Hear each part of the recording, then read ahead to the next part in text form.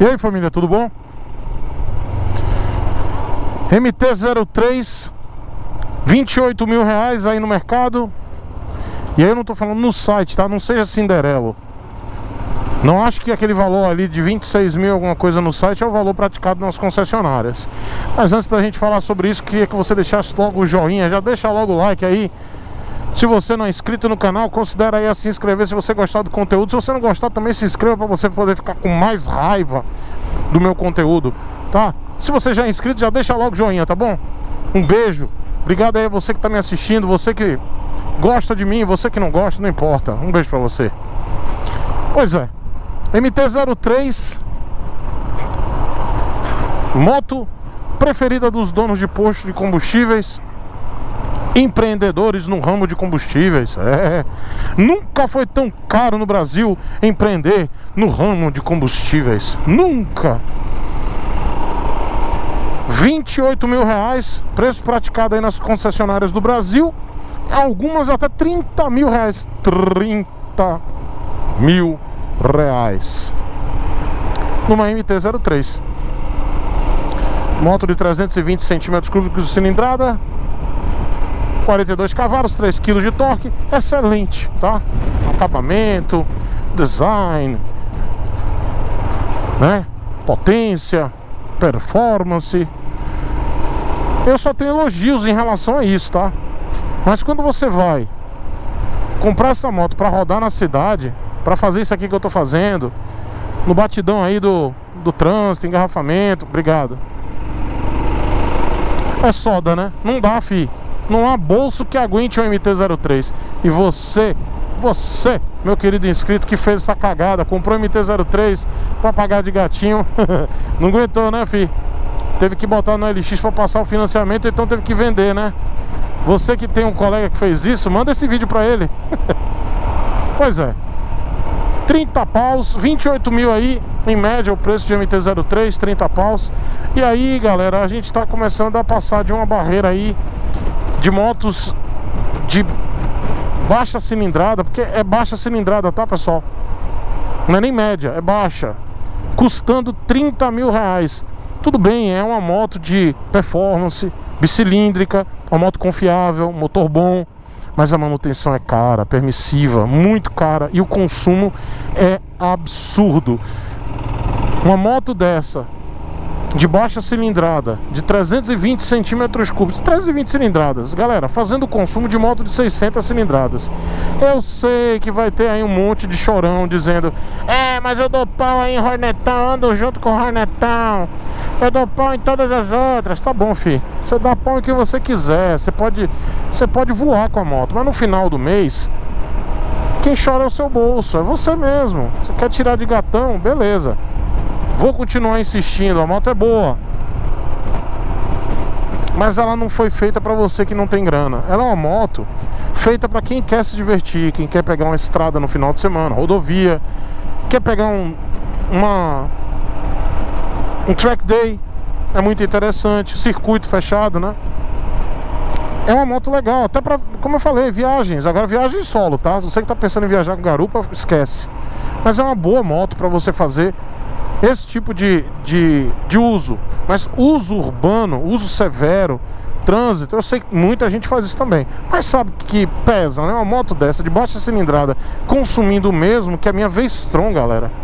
A minha V-Strom, que é pesadona, gigante a moto, ela faz 22, 24 na 22 na cidade e 24 na rodovia. É muito insano isso. Mas, enfim, eu já falei isso nessa playlist aqui. Você pode ver todos os comentários. Leia lá os comentários que são os melhores. Os caras falando: quer economia? Vai de pop. Quer economia? Vai de CG. Vai ter um monte de idiota comentando isso aqui. Tá bom, fi. Eu, eu acho muito legal esses caras aí que vivem falando isso, mas no final do mês choram no chuveiro. Ai, meu Deus do céu, essa moto tá tirando meu sono. Porque, ó, quando você pensa que é economia, tá bom. Um MT-03, quando você vai botar na ponta do lápis tudo que você gasta, você tem que pensar no seguro, na manutenção, manutenção preventiva, né? E o combustível que é a desgraça dessa moto. Além das peças serem caríssimas, tá? Essa moto ela não é barata para manter não. Mas enfim, esse vídeo aqui é para chamar a atenção realmente do preço absurdo de 30 mil reais Entre 28 e 30 mil reais que você encontra uma MT-03. Ela não vale isso, galera, não vale. Lembrando que é uma moto de baixa cilindrada. E o pior de tudo é que o preço não vai baixar, não vai voltar como antes. Então reflita, você que está pensando em pegar o MT-03 para pagar de gatinho, cara, pensa melhor, tá? Pensa melhor para depois você não se arrepender e tentar vender a moto. Tem vários inscritos meus que estão tentando vender MT-03 e não estão conseguindo, porque tem muito MT-03 no LX, muitas pessoas também que compraram não aguentaram pagar o financiamento e estão passando porque é, a moto é muito cara, galera. Não é só a questão da parcela. É o seguro e a manutenção da moto e o combustível.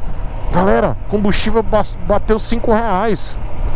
Não tá barato. Então a gente sim, a gente tem que pensar numa moto mais econômica. E aí, só para fechar esse vídeo, eu fiz um vídeo lá na House com uma R1250 GS. Ela faz o mesmo que muitos estão falando que é economia, pega uma Pop, tá bom. Quer economia? Pega uma 1250 GS, fi, que é uma moto premium da BMW. Aquele mastodonte, ele faz 22 km por litro na cidade. Motor. Agora que a gente vai falar da, da bagaceira. Vamos lá. Fala aí da bagaceira. Motor boxer com dois cilindros, hum. tá? É, 136 cavalos com 14,5 kg de torque. Câmbio de 6 velocidades. 136 cavalos. Pra que, que eu quero isso aí, rapaz? 136 cavalos, tá? 136 pouca torque. 14 quilos de torque. Isso. Tá, você ia falar outra, eu acabei me interrompendo, porque Não, é, é muita ignorância, cara. É, é muito caval, muita cavalaria e muito torque. Outro diferencial desse motor é que agora ele está vindo com duplo comando de válvulas variável. Sim. Então abaixo de 6.250 RPM você vai ter um motor bem dócil e econômico, está fazendo hoje na média de 20 21 km por litro. Tá? E acima dessa, desse RPM você vai ter um motor já bruto, vamos botar assim. E aí vamos pensar, uma moto que pesa quanto? 260 quilos com tanque cheio. 260 quilos que é leve pra caramba, com tanque cheio, tanque de é, 30 litros, isso. tá? E, e um motor desse que é pesado. E quando você pensa que uma moto desse porte, desse tamanho, com esse peso, faz 20 km por litro, realmente é de se pensar. Porque, e aí quando eu falo para as pessoas que quanto mais tecnológica, quanto mais cara a moto e quanto mais tecnologia embarcada, Aí tem gente que diz: ah, cara, quem tem uma moto grande, uma moto cara, tá pouco se importando com o consumo. Não é verdade. Quanto, quanto mais você investe numa moto dessa, você quer eficiência energética, Isso. eficiência de consumo. Tá aí, uma moto com esse peso todo, 260 quilos, e que faz 20 km por litro. Isso. Na cidade, né? Na, na cidade. Agora, na rodovia, na numa velocidade aí de 100, 100 110.